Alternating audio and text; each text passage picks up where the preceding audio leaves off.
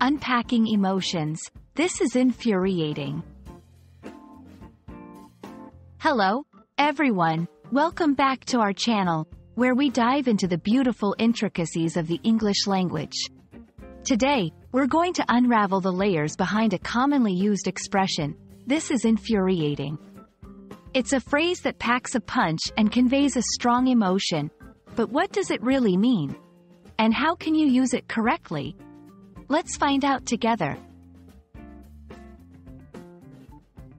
The word infuriating comes from the verb infuriate, which means to make someone extremely angry or impatient.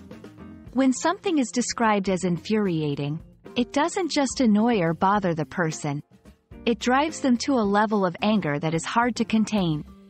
It's a strong word that should be used in situations where the emotion of anger is intense, not just slightly annoyed or mildly upset. When we break down the phrase, this is infuriating, we're pointing to a specific situation, thing, or behavior as the source of intense anger.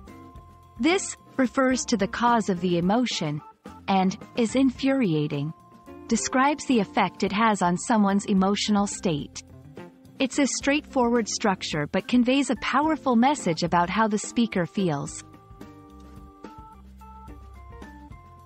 To better understand how to use, this is infuriating.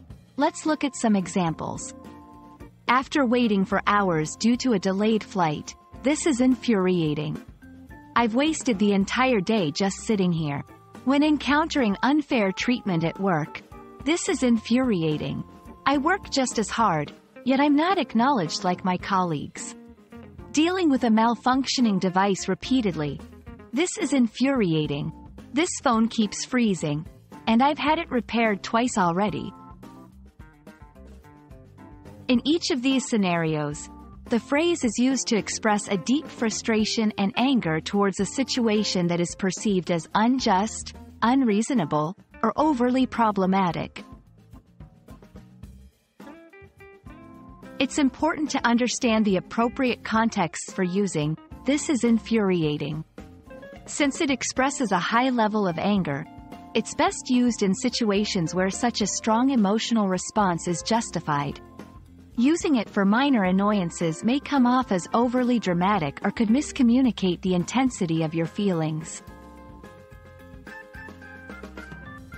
And that wraps up our exploration of the phrase, this is infuriating.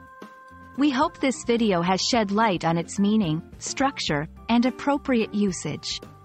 Remember, language is not just about words. It's about expressing our emotions and experiences accurately. So, the next time you find yourself in a situation that deeply frustrates you, you'll know exactly how to articulate your feelings. Thanks for watching, and we hope to see you in our next video.